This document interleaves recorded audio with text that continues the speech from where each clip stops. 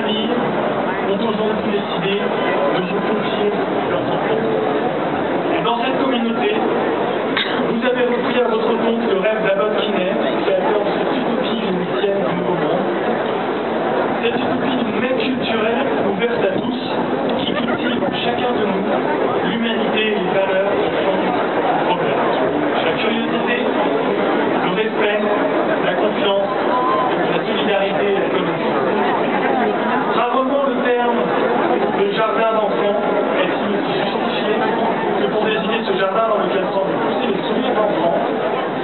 Thank you.